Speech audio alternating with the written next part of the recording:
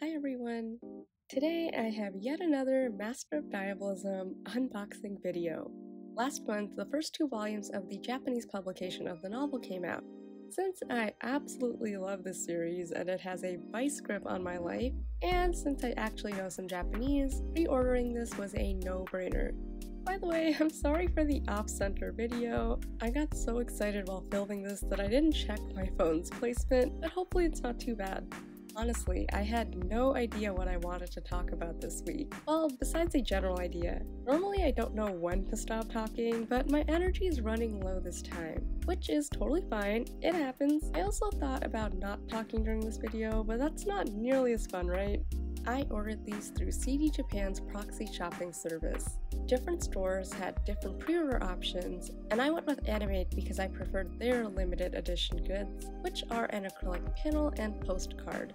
In addition to the normal limited edition set, Volume 1 also had a separate, special limited edition, which includes even more goodies.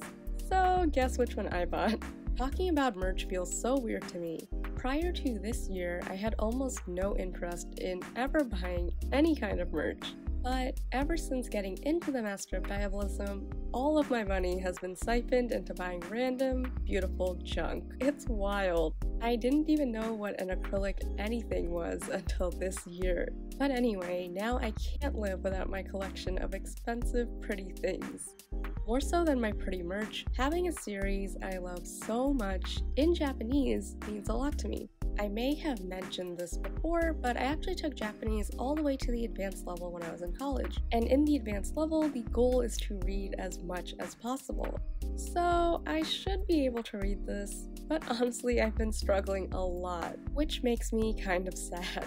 This summer, my goal is to start studying Japanese again and hopefully gain back what I learned. As you can imagine, language learning is an important hobby to me. It makes me feel like I'm connecting to the world, not only by learning about new cultures, but also by finding literally new ways to express my thoughts. It also keeps me grounded. As weird as this sounds, when I'm really anxious and mentally frozen, listening to my Korean lessons for a few minutes, for example, actually gets me moving again, even if I'm not completely paying attention. It's truly remarkable Back to the Master of Diabolism, I believe the price for the book and the acrylic panel set was 33 US dollars. For the special limited edition, however, the price was $90. For what I got, the illustration book, three posters, panel, bookmark, and standee, it definitely feels a bit expensive. I'm still happy to have it though because everything is so beautiful.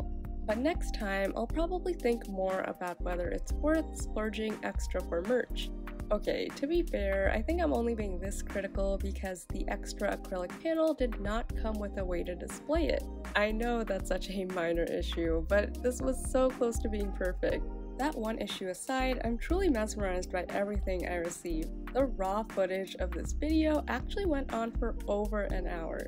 So imagine over an hour of just me fawning over the gold embossing, the pretty illustrations, the shiny bookmark, you name it. That's actually why a lot of the clips were sped up. After a really taxing and stressful week though, it felt nice to just sit and admire all of this. Like I mentioned earlier, hopefully once I've brushed up on Japanese, I can properly read the novels too.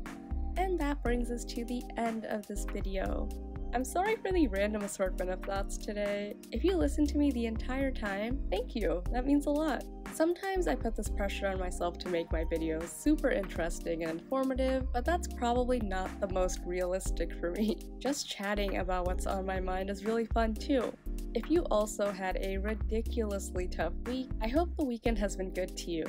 Stay well, and I'll see you next time.